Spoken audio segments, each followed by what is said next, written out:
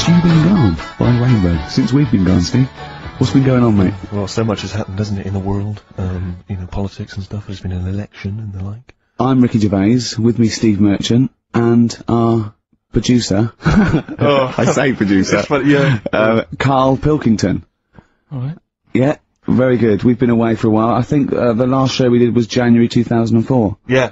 Yeah. and uh, nothing's changed. Nothing's changed whatsoever. Nothing's been mended. Uh, I, I, I mean, I, I'm pretty sure I threw that away in the bin yeah. before yeah. I went, before I left. Yeah, there are some of your uh, your old bacon rinds from that sandwich. yeah, yeah. left over there. The spare ribs on the floor. Yeah, nothing's changed at all. Oh, I, oh, no, that's not true. Um, uh, the listenership has changed. It went down slightly, didn't it, on the last RAJAR? Well, I don't know. I, I don't know. Is that is that what happened? Did it go down slightly, Karl?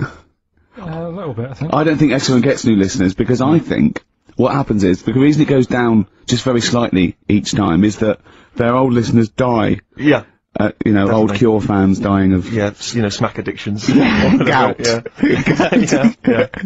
but anyway, uh, well, I've never haven't listened to this um, station for a year and a half, so it's, that's increased by one, Yeah. which is probably quite a high percentage. Exactly. Um, so, I, uh, yeah, well, I, I mean, I suppose that, that my question, I suppose, to you, Rick, would be, you know, why now? Why, why have you come back now? You know, bored, I you're, was a bit bored of sitting at home.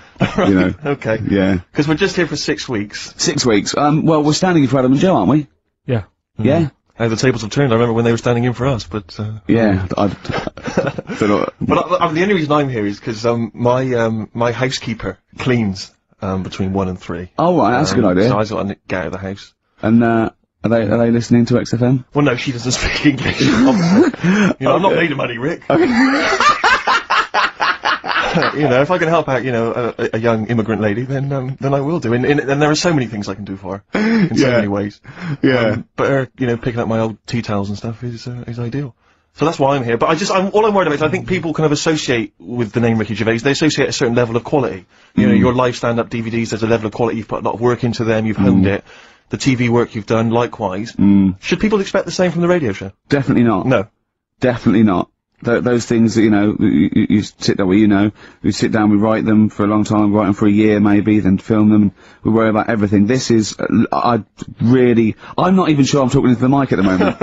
I, I was actually doodling as you saw there. Yeah. I'm eating a sandwich as we speak. Yeah. You know, that, you know, if you, although we do like music, that is true. That's could- absolutely right. Should we play some great Let's play a records? great record now. U2 City of Blinding Light. I, I'll tell you what, I love U2 now. Yeah. I honestly hated them, sort of everything from Boy up to about, I think, um, Beautiful Day when that came out. I thought, oh, that's alright. Listen to the album, listen to this album. I love them now, Steve. It's a turnaround, isn't it? Well, yeah, I, I, that's it's, it's that kind of um, musical insight that I'm looking for throughout this show. really. I sound like Dr. Fox yeah. then, didn't I? Find some of tastes and wants and needs. Uh, Dr. Fox. What's happened to him? Is he off air now? Because that's one of the reasons I put no effort into this radio show, because, uh, you know, uh, we, we go to the Golden Globes the same month, we do nothing at the Sony, and Dr. Fox actually said, that's because you're not very good. I like the fact that the uh, Dr. Fox criticisms really hit you quite hard. you know, you really took Still talking about it a year later. Exactly, you know, you've got to let it go, Rick. Yeah. No, but then again, you know, he's a medical man, and Yeah, well, uh, you know, you got you got to believe him a bit. trust his opinion, you know. Exactly. Yeah, yeah. I could have done without the rectal examination. I think he could have just said, "You're not very good." Exactly. Try and enunciate. No, I know what the problem is. Or let's have a look down here. exactly. Karl had to. You had to um. Uh, go, go, go go to one of those um well clinics, No, didn't I, you? don't- Something- I haven't gone. Why? Because I'm, not- I'm not happy with it. What? I'm not happy with the whole... Well, it's just... Do people know what them places places are? They'll give you a Have you- whole. have you heard of 'em? Yeah, I've had one. Yeah, they take they take they check everything. Which, you know, Suzanne, my girlfriend, was like, uh, you know, you're 30 odd now. Uh, when was the last time you went to the doctors? And I haven't been for ages because I don't. No, I never go. I never go unless I think I'm uh, honestly gonna die there. I'm in agony. they, like, they can always find something. Jane made me go to one of those well things, yeah, those Yeah. boot things where they do that. It's yeah, a couple hundred quid, and they give you a com- complete head to toe, don't they? But but head, head to bottom is what it is. The uh, they do the old uh, finger up the arse thing. Now, what is that testing for? Well, I like that he said it quietly because he's on the radio. You know, you can't say arse. Yeah. Well, say it quietly. You say can't it quietly. Yeah, yeah. Arse. Yeah, arse. That's what um, our mistake was because we got um, a complaint up, Hal, didn't we, for saying. And I'm talking about a male chicken here, which is a cock, as you know. and we said that word, right? So if we'd have gone cock, we'd have probably gotten away with it. You can get away with murder If you just, yeah. if you just whisper it very So go on then, yeah, so. Go on, then, so, yeah, yeah, no, just, uh, I just, I- I'm not going because I'm not having that done. I don't understand what, what they're going to find up there. That's, Your What- head? no, but why can't we just, I mean, it's the heart that I worry about the most. Do you mean that in a, in a kind of romantic sense? No, No. I mean, like, you know, if They'd have to have a long finger, wouldn't they, to check that out? They go, it's something wrong with your left ventricle. Yeah. this thing about this thing about the uh, doctors, they they hold your testicles and they make you cough. Yeah, they don't hold the testicles anymore, they just put it sort of like by the side of them. And what's that testing for? I, I, I don't know. I think it's something to do with uh, if you got something wrong with your your diaphragm or something like that. You can't you can't do it when they press there. I don't know. It, it shows them something. so you it's can't- you it's can't- doctors having a quick feel. Mm. but so you can't. well, they, well, that's good because do you remember when Karl said he's going to die of cancer, and I said why? He said I don't check my balls. I said why? He said I don't like the feel. so they feel it for you. They they feel them for you, and you can you can just relax, shut your eyes, and think of England. but don't mess with them. What do you mean? You can do more damage messing about with them. Just leave them. And it's two anyway. You can afford to lose one. Yeah, I don't think that's the point. I think the the point is it it sort of spreads, doesn't it? You know, it, it you've got to check the. I mean, I'm not saying, you know, if don't don't do it because they spend a lot of money saying to people, you know, have a quick feel if you've got the time, what have you. But I, I'm not. I, I'm, I don't worry about it. Leave it. Leave it alone. why, out of interest, why do doctors stick fingers up your arse? Check the prostate. Check your prostate. Yeah, because if it's swollen, it's it could yeah it it could you know uh, lead to all sorts of problems. Yeah, again, they're not having a laugh, Karl. They're not going. Hang on, look at this bald little mank fella. But there's no uh, nice way. I'll feel his balls, stick a finger up his ass, and send him home. Three hundred quid, please. On you go. What about me art? It's fine. And they're all la- they're all laughing. Roger, Jeff, stand behind that two-way mirror. yeah, yeah. Yeah. What's this? I'm, Oh. I'm not going anyway. So- Really, you're not going because you don't want. No, I'm not happy with that. It doesn't even matter. It's not the fact he's a stranger. If it was someone who I knew, it'd be just as bad. That'd be worse. Imagine that at a dinner party. Oh God. Oh look, hello, hello, Roger and Selena. Um, do you mind, Roger? Do you mind? Would you allow any of the celebrity doctors to do it though? Dr. Dre, uh, Dr. Fox, Fox, any of those? Doctor Who. I just don't understand in this day and age. Would you allow Christopher Eccleston to stick his big Right, northern finger let's up do your? a song on anyway. What? Beanie Sigel. I love this track. Oh, it's very urban for you, Rick. Beanie Sigel. Feel it in the air. Beautiful track, isn't it? Well, it's wonderful, and a lovely summer's day like this as well, Rick. It's the Yeah. ideal choice. Well Yeah. that one. Well, I'm a little bit worried that if there are any new listeners, very unlikely, Yeah. that, that, that they may uh, know, you know, be familiar with um, our work, but they might not know the the wonderful little gem that we found just there, a little rough diamond in the in the mud. Yeah. Karl Pilkington, Yeah. just working here, just working away as a little producer, little sound man, A wasn't he? Yeah, and he was, uh, and we gave him his opportunity, didn't we? Hmm. It's like Cinderella, wasn't it? Yeah. And he, and he grasped that opportunity, didn't you, by the horns? And three years later, you're exactly where you started. so, good work. Got Mondays off now. Well, I thought maybe a, a, a, a useful way of introducing the mind of Karl Pilkington Yeah. to um, our new You, you, you use that term loosely. Yeah, when I say mind, I don't. Yeah. Yeah. Um, I thought. What, what, Look at his face. oh, there is a website. Have you got the Oh, website? there's a website that we just found. Right, Karl, what is the address? If you are unfamiliar with what Karl looks like, Please um, log on to this now. log on to this website and stay tuned. But list, log on to the website because you'll see Karl's face. You'll see some of his pearls of wisdom. Yeah, now what's it, what's the address, Karl? Uh, freewebs.com. www.freewebs.com. Yeah, freewebs.com. Yeah. Yeah, s- forward slash, Yeah. uh, the dash K dash man. Forward slash. The K-Man. It's Okay. complicated. It is, yeah. Do it again, say it again. But get a pencil now, Right. they've all got a pencil now. freewebs.com One word. Yeah. slash the dash K dash man forward slash. Now, when you say dash, is it is it a dash or is it Is it in an the middle? Is underscore? it, is it underscore? Is it is it in the middle of the word, or is it hover in the middle of the word, or is it at the, w- w- is it at the bottom? It's just, just a line and that. Yeah, I know, but is it an underscore or is it a dash? Try both. He's even scared of like uh, doing something uh, with a friend or you know uh, getting a gift because he goes after buying one back now. Yeah. It's sort of like life's a bit of a chore for Karl, isn't it? Well, anyway, all right. Let's leave that aside. Obviously, you're never going to be entirely happy, although apparently you are already on the brink of happiness. All you have to say you was your that, hair right? looked nice. I That's was all you at- had to say. Yeah, it was- looks good. Yeah, and that's it. End of story. What's the point in that? What is the point Because she doesn't re- she doesn't really care what you think, but she doesn't want to hear that she looks like Dave Hill from Slade. She's not having her haircut just to please you, Karl. Despite what you might think, Yeah. he's taken aback by that. Yeah, yeah, yeah. Sorry, happiness then. Yeah. All right, The well, listen- is, I, I was happy the other week, right? When I was going up to Manchester on the train, Hmm. nice quiet carriage. I'm sat there reading about sharks and that, right? Nice, Yeah. nice and quiet.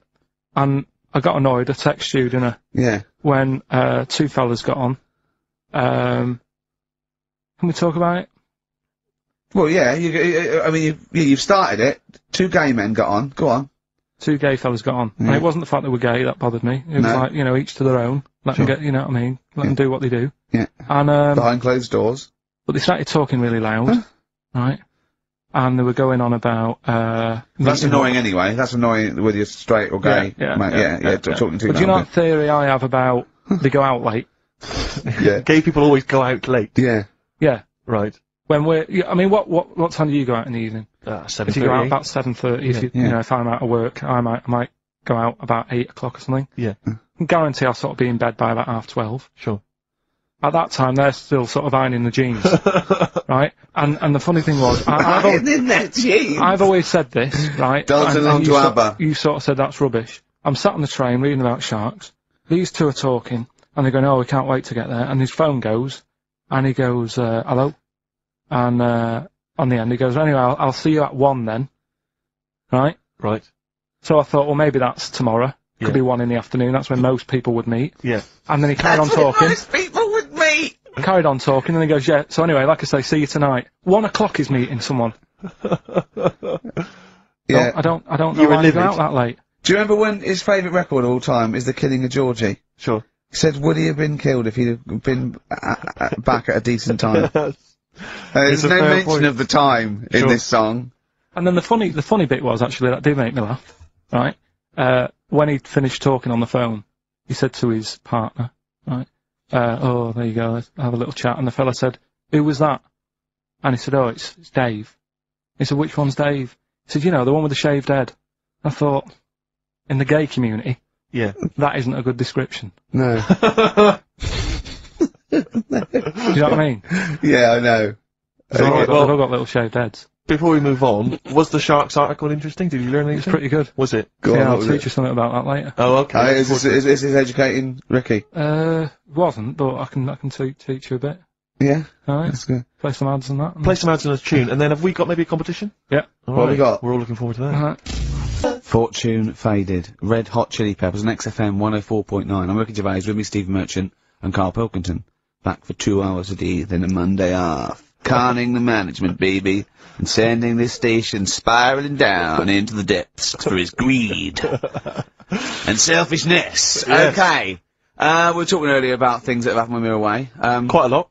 quite a lot, but there's one thing I heard. It might be a rumour. I hope it's a rumour. I kept it from you, Steve, because I, I do. I want you to sort of have spirits up because we've been at it in the office and we've got to be okay. Um, okay, I'm just going to say it. Um, I think Shed Seven have split up. Sorry, I didn't. Shed Seven have split up. Uh, I, sorry, I think I got something in my eye. uh, it's just a bit dusty, you know, I think. So, okay, if it's true, it's true. If not, we've got their, at least we got their music. Their music. didn't- the music, the music lives on. So we're going to dedicate this show, Shed Seven, and all the bands they Influence. influence. So we're just going to play Just every every every artist that that formed a band after they'd heard Shed Seven. Just play them from now on, and obviously the hits, all the hits, Oh, the I- Shed Seven hits. When I saw this, I saw it on a website. It said about, is it true? Shed Seven has split up. And the next, you know, one of those sort dorky message boards, someone came on and said, you are joking. oh, oh dear, what else is happening? I just anyway? pray that uh, Uh, it is just a rumor. It's just a rumour, yeah. Uh, get in touch. just, just, just call in if it's true. Um, well, maybe no, call in, call in yourself. Uh, well, Shed, if Shed's listening, Yeah. and he's, he's not busy, he's got Mondays off now, Uh. uh, call in and say, what, what was the split all about? Tell you what I uh, read about. on Sharks, monkeys, or jellyfish?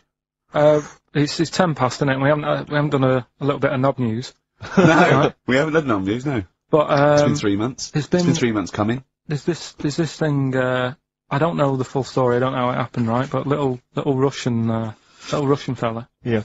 Uh, he was uh, sort of having a, uh, sort of emptying his bladder, right? And Yeah. somehow electrocuted himself, right? Right. And uh, sort of did a bit of damage, How do you, what, he, he slashed I don't onto know, I don't live know. wires or something? something like that. So Did anyway, damage to himself or to an electric fire or something? no, to himself. To himself. Yeah, and um, so the doctor. Didn't, didn't slip and uh, t- curling tongs went up his arse when he was pissing because that, that's happened a lot. in Yeah, we've all been hospitals. We've all, we've all, we've all shoved the old curling tongs up the arse when having a piss. Right. So um, I can't even be bothered. No, go on, no, we're interested, we're interested. No, come on, we're interested. Talk You can't be bothered, you get Mondays off, do some work. Right. So anyway, so the doctor says, "Oh, it's not looking good. We'll have to set that off." What? He's like, The- oh. uh, uh, knobectomy? Yeah. Really? But the funny thing is, right? Nothing funny about that. They've done. Uh, you're doing me head in. You're doing Just tell the story. Just doing me head in. Oh, you I've can got to. chill out I've on only got- Monday. I've only got 15 minutes, but I'm gonna, I'm gonna talk to you every Saturday. I'm gonna get the money's worth out of this, because you get Mondays off. And I can't, I can't bear the fact someone's getting away with something like that, because it's terrible. So you're gonna stick this out, or you're gonna have to work Mondays. So take it on the chin, right? Okay. Just finish the story. Yes. I command you. Just do it. Anyway, so they've they said he said, you know, you, will you be able to sort me a little knob out? a prosthetic no. cock, yeah. Yeah. But they put him out Yeah. for the operation. Yeah. He woke up. Yeah. Right, and he's thinking, oh, thank God that's over and done with. Yeah. They've only grown it on his arm. What are you talking about? you twat. Shut the f- d- d- d- you're an idiot. What do you mean they've grown it on his arm? Apparently, like that's that's the way they do it. Oh, yeah, but to, to then put it on, that, that, that wasn't a mistake. It wasn't Dr. going, did it go there? Some bloke didn't, I didn't do a degree. Are you a real doctor? Yeah, yeah. But why why put it there? Because it's got a grow. Because it's got to grow. It's got a graft there, so they can control it. To skin the to skin tissue. But on your arm, Well, But they're going to remove it or- from the arm itself. What do you mean on the back? on your back. somewhere. Well, we can't wear a t-shirt. Yeah, but you could. You could have a ridiculous. He's in hospital. it, it, but this way, he can still have a little tug, No, can't no, he? But they'll leave it there for quite a bit. It's not. Do you know what I mean? It's not going to be like, oh, it's just there for a few days. Yeah. It's there for a bit. That's not good, is it? So he's got a cock on his arm. Yeah. What's up with that? what do you mean? What's up with that? Well, I mean, it, he's, he could say it's a it's a it's a thumb or something, couldn't he? yeah. But they they remove Be- it. Be good And for hitching. it down wouldn't below If, later. if you had if you had a knob instead of a thumb and you went hitchhiking, just tickle it. They can see it like a mile down the road, couldn't they? Posting. yeah. If I'd lost my knob, I'd go, oh, I'm not gonna have all that stuff. Just, just whack a pair of tits on me. Do you know what I mean? I think, oh, I'll have a, just forget it. But, but why not just put it where it should be straight away instead of messing about? Where should it be straight away? You know. On the you forehead. know. Uh, listen, let's. Are we doing a competition? Let's play I a can't tune. be Let's, bothered. go- let's Come just, on, let's just, you can't be bothered. Right, Alright, bit okay, we're rainbow, gonna bit scrap rainbow, this yeah? and you're gonna work Mondays again. So, so you had him, Right. right? There was uh, there was Fred the Veg, Yeah. which is. I assume it's because he was at the same IQ as you. or, or, or he was in a coma. Yeah. right. There was there was uh, there was my uncle Tattoo Stan. All right. Yeah, he had he had like loads of tattoos that he'd just done himself.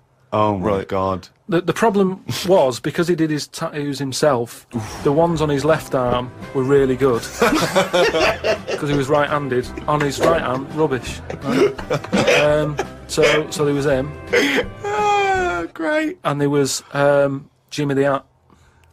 Jimmy the Hat. Yeah. Did And he that- always wear a hat? No, he didn't. That that's that was the point there. That he, he never wore a hat. That's amazing. Brilliant. How can you pick up on someone never wearing a hat? How would you ever notice? I'll tell you what, I've noticed something about Jimmy. What? Go on. He doesn't wear a hat. why, why was he not called Jimmy the Parrot? Because he, he never carries a parrot. No, but that's just the way. I mean, that's how they work in it. I, mean, here, that- here comes Jimmy Three Legs. Why'd you call him that? He hasn't got three legs. I didn't really have one apart from um, like I had a CB. You know, like when you'd go on a CB radio and have a chat to people. Oh, this was a craze in the, uh, uh, was it late 70s, early Sort of 80s? early eighties.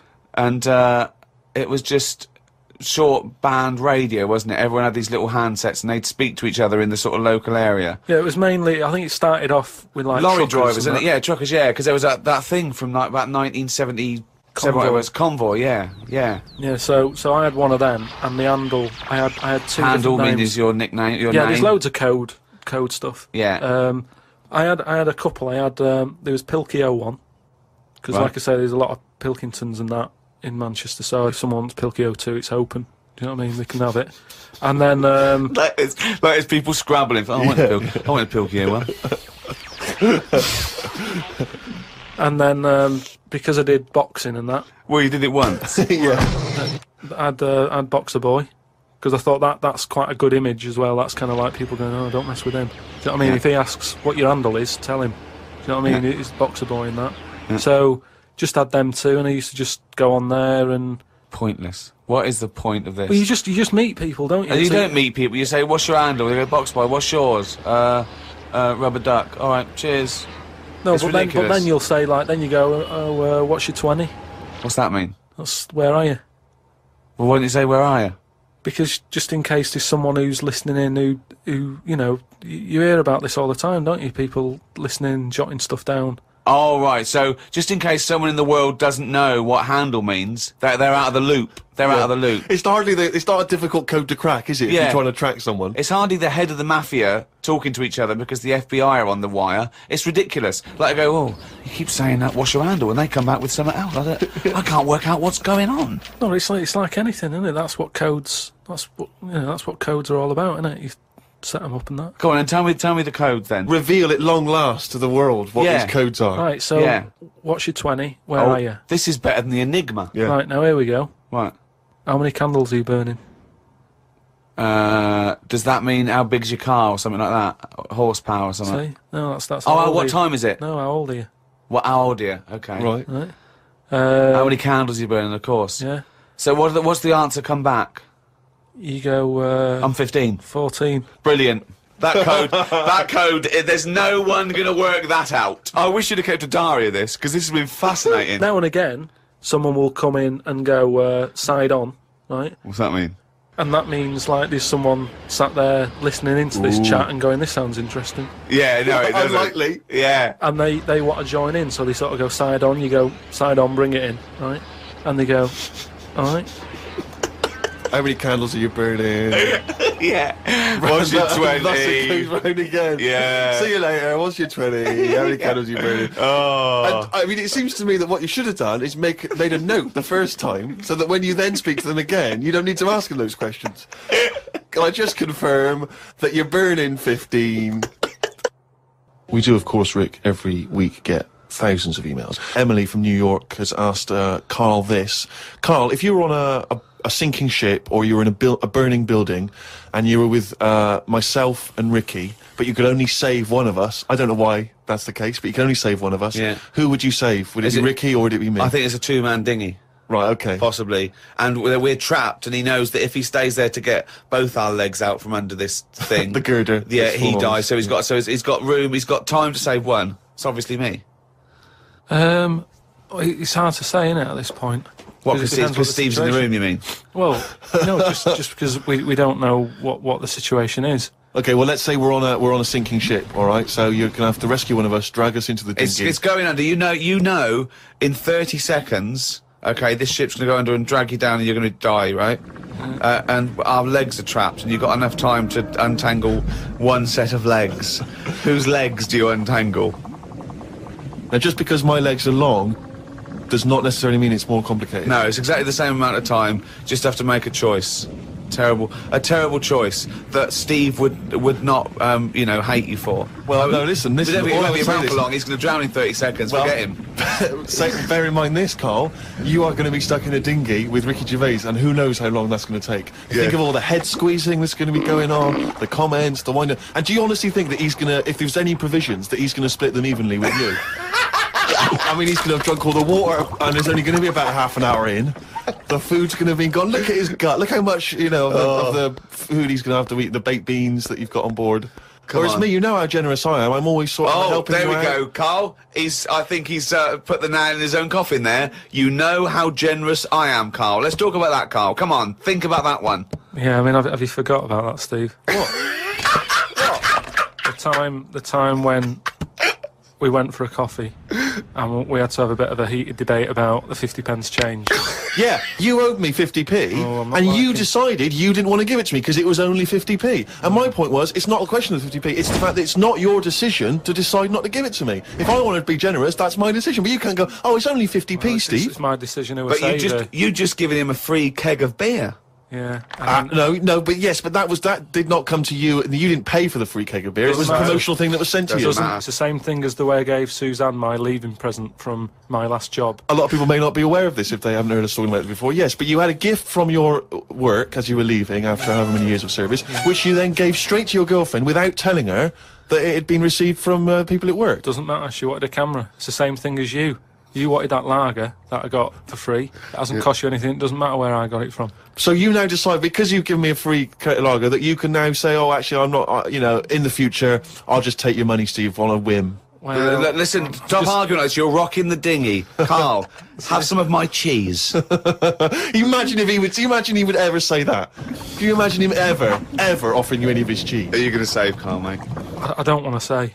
Well, think about it and I might do a sort of a, a for and against or something, and then sort of so the conclusion is Okay, all right. A few people have sent this in, including Paul, the party animal Parker. For some reason, we've just assumed he's in school. I don't think there's any actual proof of that. But do I you reckon, think? I reckon he left in June and he's doing sort of bits and pieces, but he's still not a party animal. Do you think? I mean, do you think he can hold down a job? Is he just partying so hard that? He can hold down a job. Um, he often arrives late. Sure. And the, and the boss, who's in an overall, go, Parker, you're late again. He goes, yeah. talk to the hand.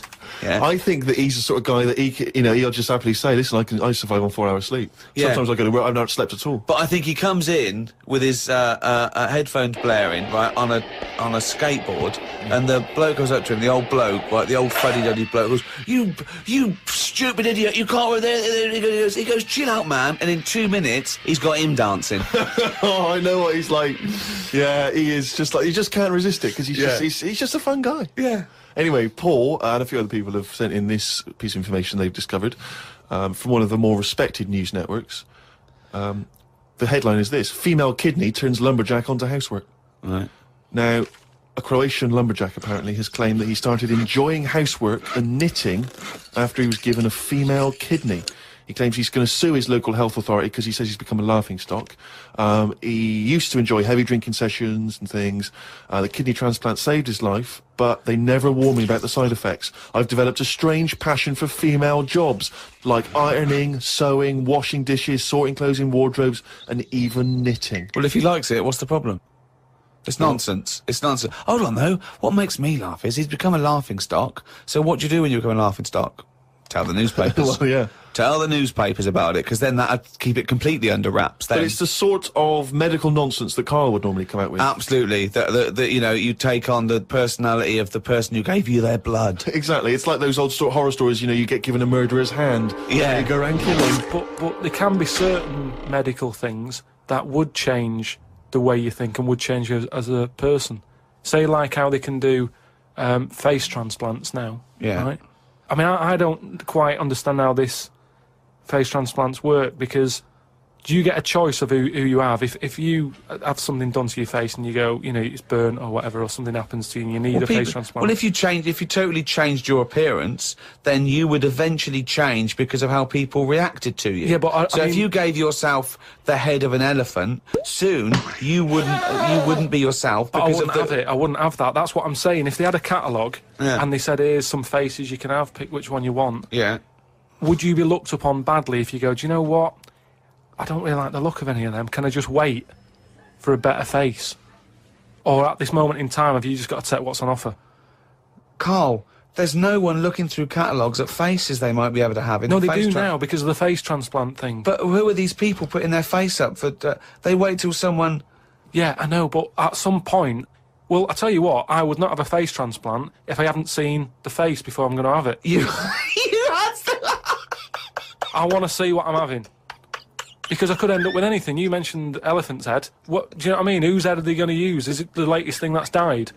Oh well, this got run over before. Yeah, I'll stick this on your head. Bro, where does this come from? Where From are his these mind. Where, hospital. where are these faces queuing up to be popped on a skull? Where do you think they have got time to to put all these? maybe this is why it won't catch on. I don't know. Talk then. Someone should talk. It's obviously uh, already, already a shambles. Can you believe that? I, I, I'm amazed that we're back on the air and it's already a shambles. What are you doing? What? What are you talking about? I'm talking, the, no one was speaking, the record was ending, the, no one was speaking, it was just, well, I might shut off. Already, I might shut off. It's Bit like we, nothing's changed. Boys are back in town on XFM 104.9. We're back then, aren't we, Karl? I'm Ricky Gervais, with me Stephen Merchant and Karl Pilkington. I'm not coming back, I'm definitely not coming back. Oh, oh, care, care someone, care that I'm not coming back. Rick, I the- seem to remember the end of, yeah, the end of the last time we were on, what Yeah. was that, three months ago? Yeah, three months Karl ago. said he's never going to do the show again. There was nothing that was going to bring him back. Yeah. He didn't enjoy it, wasn't going to do it. all the ruse, right? Really? Yes. Um, I've I've known him been co- coming back for about two months. You know, because he's got our agent now representing him. I thought he was a haven't- fool, but- really. Why? Well, what, what's Yeah. he done for me? What's he done for us? No, I know, but I mean, he's, he's agent, so, uh, and he's sort of calling Graham. And it was all a con, so Karl could get Mondays off. Poor Graham, the station's struggling enough as it is. Yeah. It's like running around like a headless chicken. Yeah. No one's listening, no one's listening. That's why I don't bother talking on the record then, because there's no, there's no loss Sure. to London. Sure. Right? It's, it's, it's pointless, this show. We don't do it for the money, we don't do it for the kudos. I don't know why we do it. No. Is there anything on telly at this time? I'm gonna have to lie in. I know. But um, it's all a ruse to get Mondays. off. He's got Mondays off now because he has to do the show two hours, right? hours. And he's still getting paid, and it's all a con because he knows that he's holding him over a barrel, and he's. Uh, uh, it's like, oh, we've got to keep Karl happy, Mm. I right? had I had Mondays and Tuesdays off before Duncan got involved. no, but you know what I mean, though. And it's like poor Graham, who's the MD, that uh, in charge of the thing, probably pulling his hair out, worrying about the station, right?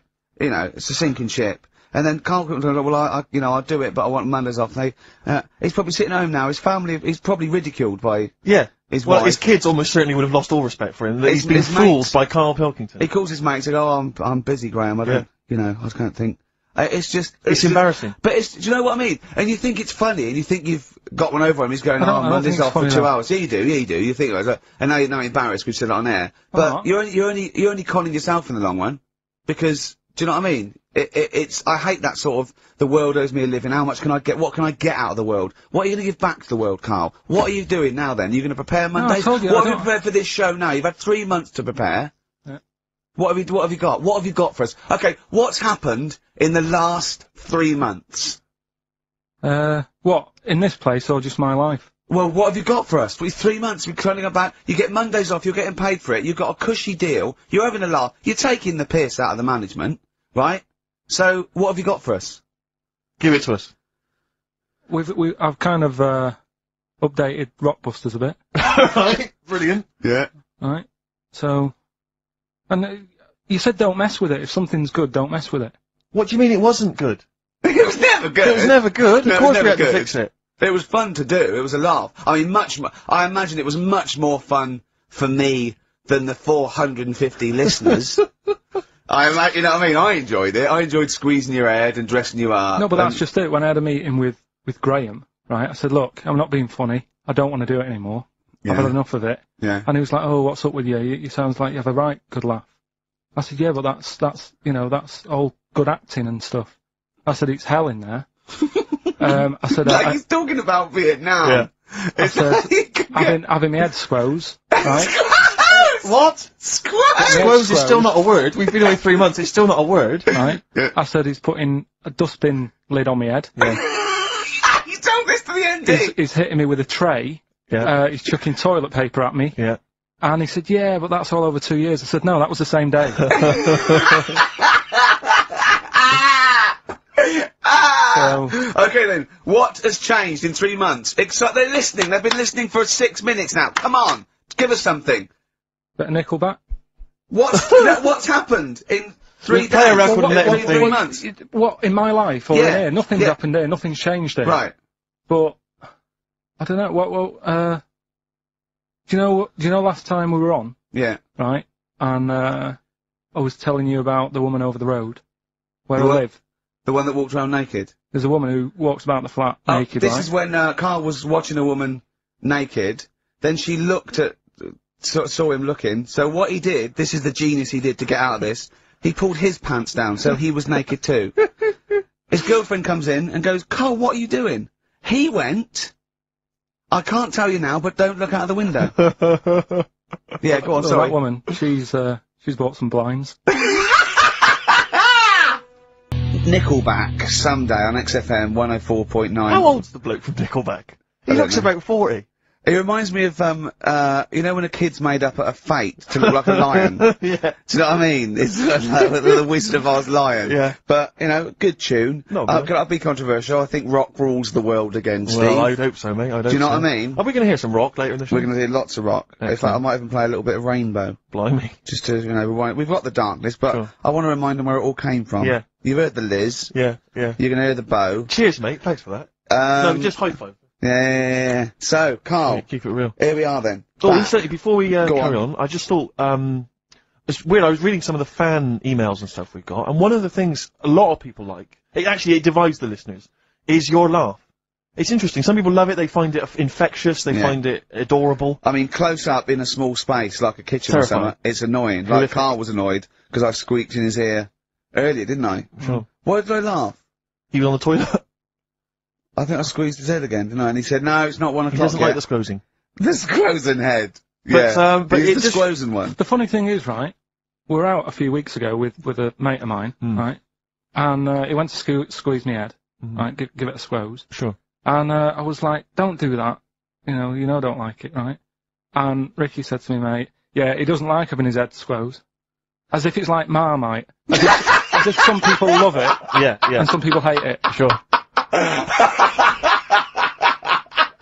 yeah, Well, okay. Anyway, yeah. there's but there's there was a little taster of the laugh. That was more the kind of deep throaty laugh, the belly laugh. But there's that kind of high pitched squeak that you do. When I've got to get air out quickly, because Exactly. I'm going to burst. Sometimes I laugh so much that my liver and all my, like, they try and get out of it, so I have to get it out really fast, like a like a siren. Right. Do you know what I mean? Is that is that how you explain the fact that you're you're quite fat? Yeah, That's actually laugh. that's just laughter waiting to come out. Yeah, Every time you laugh, you, you become a svelte young thing, like Brett Anderson. Oh dear. Well, anyway, it Look, reminded me of the uh, the game that you you and I used to play in our very early days of XFM when it was literally make Ricky Gervais laugh. Make Ricky Gervais laugh, which was a great game. I think. I remember the first one. It was that fella drinking a pint of beer. yeah. I remember yeah. the very first time. It yeah. never. I tell you what, it's you not know what great. though? Ant and Dec do it now. They Do do. They actually. It's very similar to Make Ricky Laugh. It's called Make Ant Laugh. Interesting. so. So many of our great ideas have been uh, have been stolen. Yeah. Or stoled.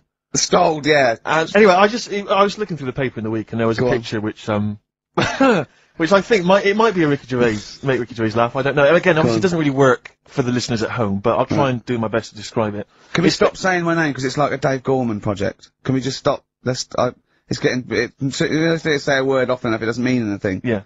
Let's stop saying Ricky Gervais. Well, what we're going to refer to you as. All right. Well, make Patty laugh is um is a new a new game. I'm trying to get one of those squeaks of a laugh. I'm concerned because well, I know I, am not gonna. I'm not a monkey. I'm not Sure, a you're not a performing, performing No. Okay. I know that. Right. But anyway, let me just briefly summarise the story for those at home. Okay. The uh, the headline was Mum 48, a mother of 48 seduced boy of 14. Well, that's not funny. Not her own boy, obviously, but uh, No, a, child, a neighbourhood child. Um, I don't think it's a funny said- story so far. he said Grand Lana Allen, 48, led him upstairs and undressed to her waist, then took his trousers off. Okay, bear that in mind. This, is This a quote. This is a quote from him, Right. right? Bear in mind, he's a 14-year-old boy. He's quite excited about this. He says, "Then we had sex. It was every boy's fantasy." All right. You're gonna show me the picture of her now, aren't So you? it's a picture of her. Oh, this is not. Bear right. in mind, This is.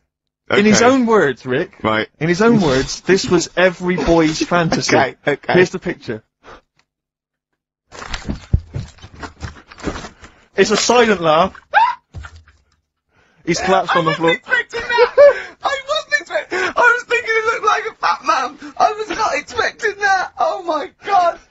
Oh god. She looks like the drummer of Iron Maiden. That's She looks a bit like Lemmy. But I tell you, she looks like she make, reminds me of most. Did you see those? they've got one with a fag on as well. I know, I know. It's just the, uh, that's, that's her with them out of makeup though. Karl, have you seen Every Boy's Fantasy? You should see, you should see. oh god. Have a Oh. look, Karl. Oh. Oh god. How old is she? 48. Oh. Oh god. Oh, 48. That's lovely. Nothing wrong, no, nothing wrong with that. I'll tell you, if you don't know what, if you didn't see, you weren't lucky enough to see the picture, she looks just like the um, oldest man in the world. I was uh, shopping with Karl before Christmas, and we went round sort of Piccadilly and St James's, and those really beautiful shops around there. And I went in one shop. You had to um, ring a bell to enter. Yeah. They came down, and it's like a, a iconoclastic sort of shop, and they they found things from churches and uh, uh, nearly all Russian, 16th century pieces onwards. This beautiful. Uh, uh, carvings and, and paintings and statues, and I went, "Oh, it's beautiful." And as I was looking round, I heard Karl sidle up to the bloke and go, "What's the newest thing you've got here?" Yeah.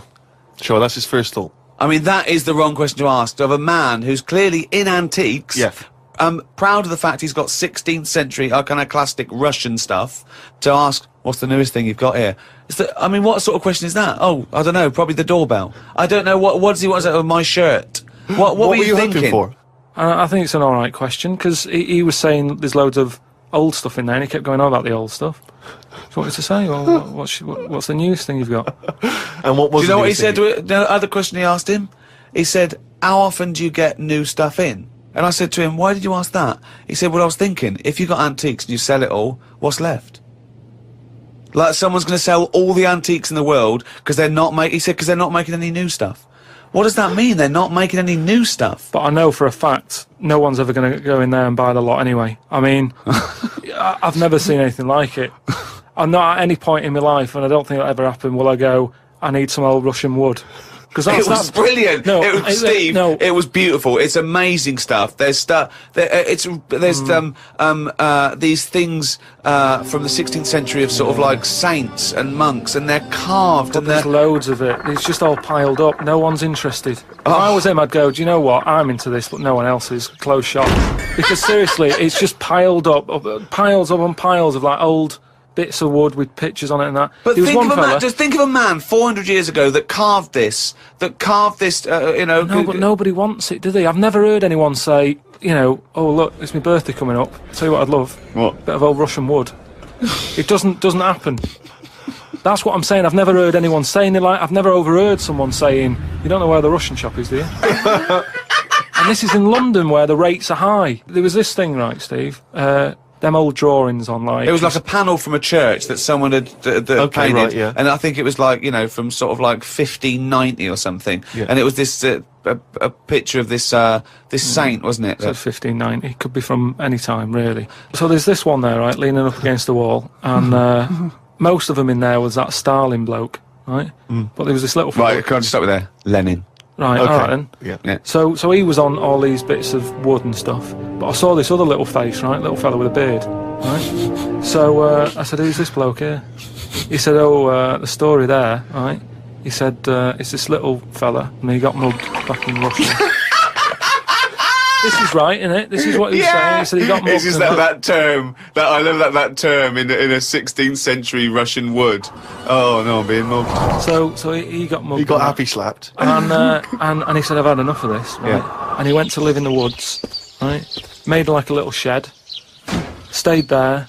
People went to visit him, and and like if you got a problem, you knock on his door and you go, oh, "I'm sick of it," and he'll sort of say, "Yeah, I know what you mean. I've, I've moved out of the city and what have you," and he'd make him feel better, and then they go again.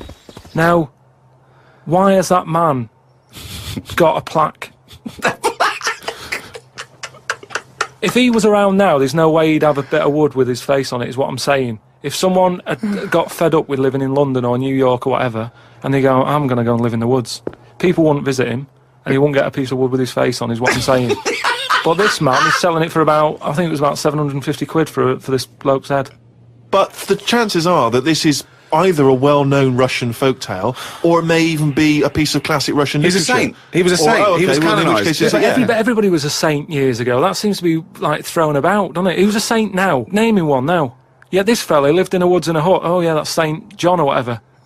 he's not a saint. He's done nothing. If anything, he's sort of said, "I can't be bothered with living in a city with everyone else. Everyone else has got to put up with it, but I can't put up with it. I'm going to live in the woods." Well, if you can't put up with it, you're not good enough, are you? You've got no stamina. and yet he gets a plaque. Is what I'm saying. It's annoying. Who would you like to see, Who would you like to see get a plaque in the modern world? Who deserves a plaque, in your opinion? Probably like nurses and that who, who do a lot of bad things that I think I couldn't do that, carrying lungs about and all that. no, but I, I couldn't do. Do you know what I mean? That's that's one job that I, my mum wanted me to be a doctor. Uh, Whoa! What was she Wow. thinking? Oh, what's her This expectations particular like apple now? didn't fall far from the tree. Oh, when did she start giving up that dream? At what age did she start going, Karl, you don't need to study your books anymore. Go, go and play with the worms in the garden. When did she sort of like let you off that dream? Is it the day that she caught you with a spoon up your nose? But anyway, talking of emails and that, right? Uh, Nick, who's emailed from Australia, right, Melbourne. He's uh, he's he's been going on about dolphins and that problems with dolphins. what problems? Um, he's just saying when when that that wind happened, um, there was like a bad wind thing going on. Hold on, wait a minute. What, what bad wind? Um, in in America, they had that. Hurricane Katrina. Yeah, Right. and there was like a little bay with dolphins in it, and Right. that, with all guns on them and stuff. what, oh, whoa, whoa, whoa, they use dolphins, don't they? They say they're intelligent animal and stuff. Yeah. Um, and they've got them all like, you know, they've all had the training. They're all like ready for for battle and stuff. Right. Got like rifles on them. What do you mean rifles? They've How got- can they hold the weapons, rifle? got- How can they've got- hold a rifle? No, it's sort of on a strap and that. I- What do you mean it's on a strap? I don't know what they kit them out with, but they're just ready for war. What are you off. talking about? Listen though, that isn't the point. Don't worry about it. Oh, we leave that one, do we? is- That's not the point, so let's leave it. So they're swimming about. yeah, this with, with rifles and berets. Whatever they've got on. Yeah. right, Ready for, for battle and stuff. Yeah, ready for Uh, battle, yeah. The wind comes in. The wind comes in. Hurricane. Katrina. makes makes a wave and that they get out of the little bay Yeah. still all kitted out with all the you know weapons You're talking bollocks. Steve do you want to look at the email Well, there, there's no way. There's loads of dolphins now swimming round, kitted out with problems. guns and that, with a strap. How, how can a dolphin hold a? Whoa, again, you've been watching Planet of the Apes. Oh, he's trying to talk to us. What's he saying? He's saying, "Go ahead, punk, make my day." Look, You're just- talking shit. it's just news to say if if there's dolphins you know if you see a dolphin and that don't go oh it's friendly because there's some with weapons now so I'm just I'm just reading it out on email that's that, that'll cover it and that so bollocks. We've got a, a little email straight away, Karl, from Nikki in Beverly Hills, California. She says, Karl, you rock. I hate it when Ricky and Steve ridicule you. I checked out your picture. Although your head is not normal, that's no reason to ridicule you. You look gimp, but I never judge a book by the cover. cheers Is that what you've got to say? well it's only because I've I've got no hair though isn't it that's why it gives that effect No, it's perfectly round your head. it's perfectly spherical head. Your face is slightly too big for it. It always goes over the almost goes over the sides. Perfectly round head. Um, pug little nose, funny gimp eyes with no expression, hangdog look, um, like a little mouth, like a little lamprey, not formed, not human formed. The the way your expression is like you've had a lobotomy. Your head goes weird at the back. It's got a little nod in it, like a. Uh, uh, it's it's really strange your face, and you're stupid. We've had a lot of emails saying that. I mean, I think he's just paraphrasing, but. Um, talking of emails, you know, uh, a couple of I, I can't remember which show it was, but you mentioned Karl that you'd uh, you'd only recently seen a uh, Chinese homeless person. Oh, yeah. and it really surprised you because you'd never seen I've a never Chinese seen homeless before, person. no. And I actually went along with that. I, I I've never, I've still never seen a Chinese homeless person. Well, now I can just tell you now that there's a f- few responses from Los Angeles, people saying there are quite a lot of Chinese homeless people over there because apparently there's a huge homeless community in uh, in Los Angeles. So definitely, if you want to see them, Karl, that's the place to go. But um, we've had one from Vancouver, Canada, from a girl called Amy, and Amy herself is Chinese, and she says that she realised herself that she she'd never really seen a Chinese homeless person, and although she says that um, apparently Vancouver has the first or second largest Chinese population in Canada, she'd never seen them, and she actually went for a walk around uh, the Chinatown in her area looking for them, and she could not find any on that particular day. So um, again, Canada obviously not a place to go for a Chinese Yeah, it, it was just a point though I don't want people sort of Well, hold on though. Wait, well, I'll stop you there. Hello, Ricky, Steve, and Karl. I live in New York City and have seen a Chinese homeless person. Not only is he Chinese, but he is also a midget. He's been living on the streets for the last 30 years. He used to dress in rags, but thanks to a, a, a coat drive, he's now wearing a fancy Adidas jacket, right? Now he encloses a picture. Uh, he says he gave him 10 bucks to take the picture, um, and I've seen it, and he's a little Chinese I- I- midget fella. I'm just getting a bit worried that people are going out there sort of looking for these. because because they, you know Well, that's what you requested. No, no, no. But all I was saying is I saw one. I didn't start saying, "Excuse me, can you just give us a smile? I'm taking your picture." Do you know Well, we've I had loads of pictures of people. I know, and it worries me a little bit. And I I mean, it's not too bad about the one who took one of the little midget one because you know, he's if he kicked off, it'd be quite easy to sort of hold him back. But I'm talking about fully grown. So is that your warning to people? Don't be taking pictures of fully grown Chinese homeless. Well, yeah, I'm just saying, you know, don't don't be messing about going up to strangers and that and, and annoying them and stuff, right? Put it down! Have a go. That's the sort of level we're talking about! Well, already you've got some insight into the mind of Karl yeah, absolutely, yeah. But I thought what, what we should do is we could hijack. Imagine that! Imagine Bill Gates! yeah, or a teacher in an exam. Pop down both. Uh, multiple choice! Yeah. Yeah. Um, Right, okay. but anyway, yeah. If, if you're a reader of the uh, Weekend Guardian, you know there's this thing called the Q and A, which they, they give to uh, celebrities and thinkers and the like. And basically, it's a series of questions they pose to each pe- uh, people each week, and it's the same questions, and it gives a little insight into people's minds, the way they think. what particular, what thinker philosopher is in this week's? um, it's the lead singer of Feeder. so um, you're in good company, Karl. no, I like Feeder. No, fine. I love Feeder. So, Karl, I'm just going to fire a couple of these questions at you. We'll maybe drop them in throughout the course of the show, just to try and get a sense of who you are. Um, so, here's the first up, first question. All right, you got your thinking head on. Go on. You Wurzel. What is your idea of perfect happiness? Uh, what for me or Already, No, Ronnie Corbett.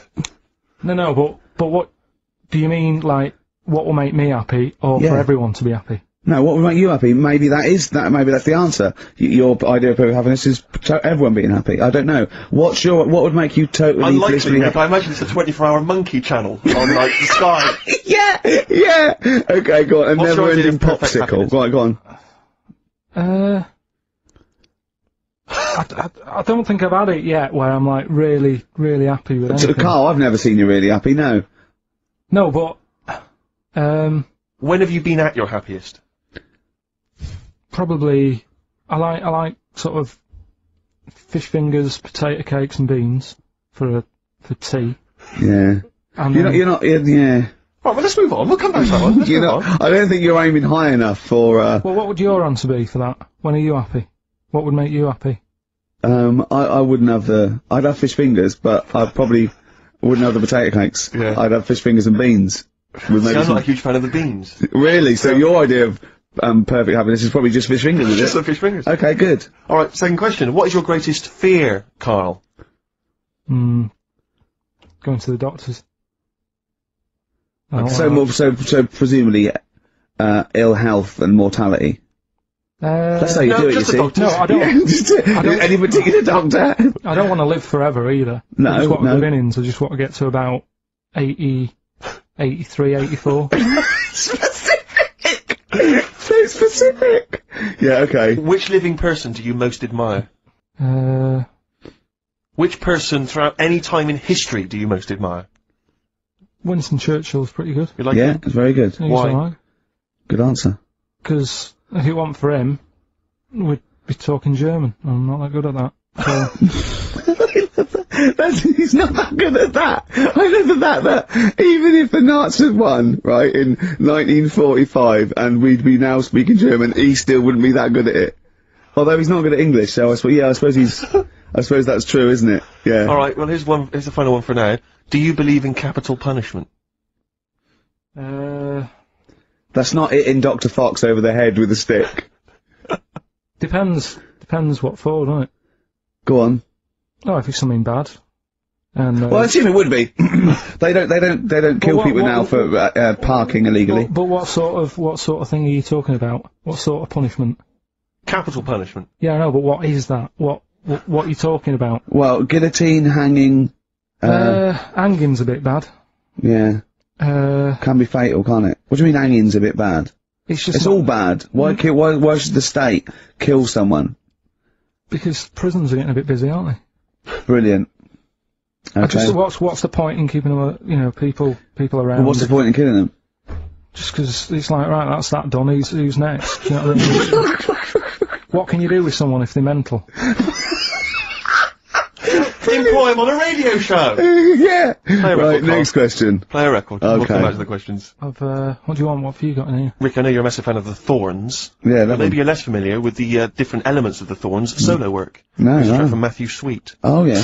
XFM 104.9, Matthew Sweet, and a song called In My Time, Ricky Gervais, Steve Merchant, Karl Pilkington. That's great, that. Yeah, just asking Karl some of these uh, Q&A questions. This might be my idea of perfect happiness, being in a room with Karl Pilkington. Yeah. Just what I watch him, I just watch him look around. When you're talking, uh, uh, he looks at you, and it's like, you know when the owners say, it's like the cat can understand what I'm saying. Yeah. It, it's like he's on the edge look. of that. He's Yeah. on the edge of that. You think he can, and I know he understands the words, but I don't think he understands the full impact. He never, whenever you say something to him, it might be some, you know, a revelation or something, uh, he always picks up on the wrong side. You go, well, that's not the important bit. Do you know what I mean? He always goes, It's a bit like having a 14-year-old French exchange student. You know, their, Yeah. their English is not amazing. They roughly Yeah. understand you, but they're trying to piece together what you're saying. Exactly, but it, it's great. You see, um, the thing about Karl is, and don't take this the wrong way. I like him because he's stupid hmm. in a way. Hmm. no, I'm not being funny, but do you know what I mean? But even though I think he is considered uh, stupid, some of the things he says. I think borders on the, I don't know what the PC term is, the retarded. do you know what I mean, Yeah. Karl? Anything in particular you're thinking of there, Rick, when you think of the... Well, uh, um, he was talking to me the other day because I'm I'm trying to write a show called Science, and he's sort of uh, going to help me out with some of the research, and I want to I want him to do some on the DVD for it, right?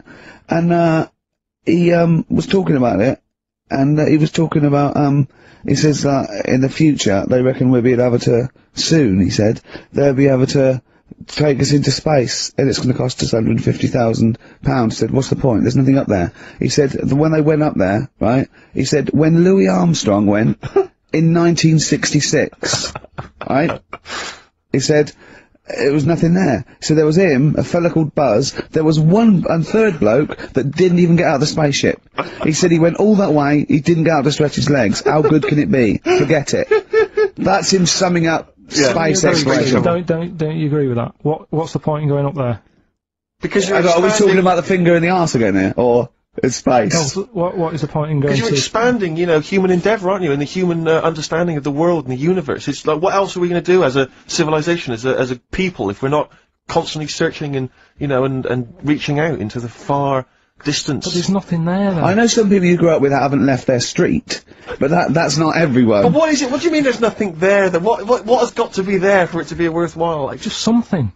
what, I mean, like? to be honest, I what would you be don't happy with finding out on the the moon? video? Just, just, just something. I don't think they looked hard enough anyway when they got there, because they seemed to get out, have a bit of a dance about, and then they came straight back. And I sort of think, you know, did they look properly? It's not a day trip, is it? But what, what I But mean they is, took that car out there, didn't they, and drove around a bit? yeah, but only a little bit.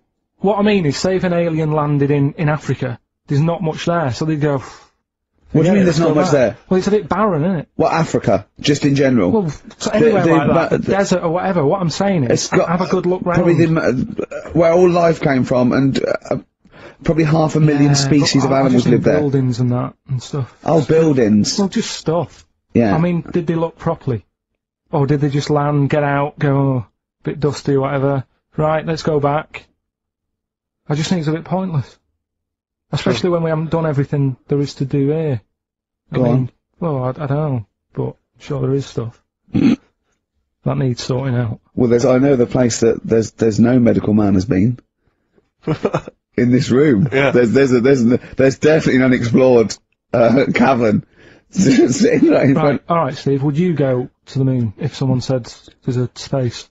He doesn't march at a concert because he's scared his glasses to fall off. Of course, he wouldn't go to the moon. They'd Tactical. spin him round in training. His glasses would come off, and that'd be it. He'd, go, Yeah. he'd feel sick. My worry is I'm not sure I'd get. I'd have because I would I be able to wear them under the helmet. Imagine him. Like I went, I went paintballing once, and I had to wear the glasses underneath the mask. And of course, it was a bit hot weather. It was awful. All, it was steamed up in there. So I couldn't see anything. I got shot straight away. I was out of the game. It was pointless. You know, it cost me like eight quid. You Yeah. don't have to be that fit anyway, do you? You're only sort of sat there. Well, not uh, well. Yeah, but what what are you talking about? Think of G-force alone and weightlessness. Of course, you've got to be what? I think What? when you said think of G-force, he thought of G4. The uh, follow-up winners in Pop Idol. I could see it as his as his eyes glazed over. A couple more quick questions for you, Karl. Just try and get inside your mind. Um, what do you, uh, what is your greatest regret? Uh, probably. I didn't do that well at school, did I? So I'm I'm trying to like learn stuff now. Yeah.